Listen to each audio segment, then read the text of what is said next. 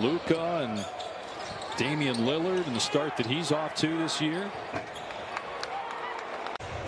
You know the feeling though with making those tough decisions. I'm sure you went went up against some incredibly talented people when you won that Emmy behind you on that wall. The way that these guys these days shoot the three-point shot, it, it it creates a lot of problems. And you have guys that can knock it down.